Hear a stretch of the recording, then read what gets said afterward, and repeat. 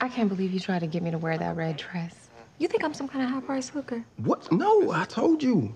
Cool. I'm kidding. Nothing else is gonna fit into this They better not remake this movie. I heard they're doing it with The Rock. That can't be true. I'm just telling you what I heard. Ooh, this is my favorite part.